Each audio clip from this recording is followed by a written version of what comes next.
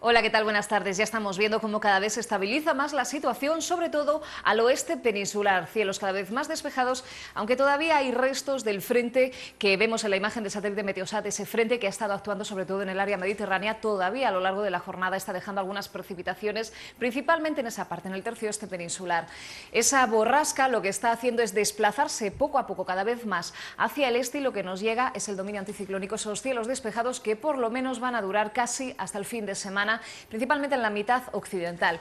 La situación hoy, lo que nos queda de jornada, todavía se van a ver algunas nubes de evolución a lo largo de la tarde que pueden dejar alguna precipitación dispersa en puntos del interior, principalmente en áreas montañosas, en puntos del sistema ibérico, también en el sistema central, pero mayor riesgo y probabilidad de que esas precipitaciones además sean tormentosas hacia el este, como decíamos, la parte de la comunidad valenciana, este de Castilla-La Mancha, Murcia, también la parte oriental de Andalucía, sobre todo en la zona de Granada, en la sierra y también a lo largo de la tarde algún chubasco disperso en la isla de Mallorca, en el archipiélago balear. En Canarias, las islas occidentales seguramente a lo largo de la tarde hacia el norte reciban también alguna precipitación dispersa.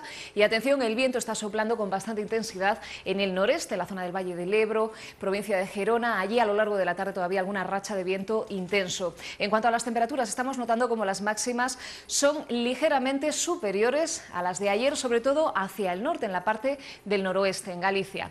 La situación mañana mañana. de nuevo vamos a continuar con un poquito más de inestabilidad. En el tercio este peninsular será a partir del mediodía cuando las nubes vayan aumentando. Podrían dejar también precipitaciones dispersas en puntos montañosos del interior, de nuevo en la zona del sistema ibérico, también sistema central, la parte de Castilla-La Mancha, la parte oriental de Andalucía. Ya decimos que sobre todo va a ser mayor riesgo de que sean más intensas las precipitaciones y acompañadas de tormenta en zonas montañosas. También en la zona de Murcia, Comunidad Valenciana, el archipiélago balear mañana va a estar más tranquilo. En Canarias, de nuevo, mañana se puede producir algún chubasco disperso con mayor probabilidad en las islas occidentales. Y en cuanto a las temperaturas, vamos a, notar una ligera bajada, se va a notar sobre todo en las mínimas de la mitad norte peninsular.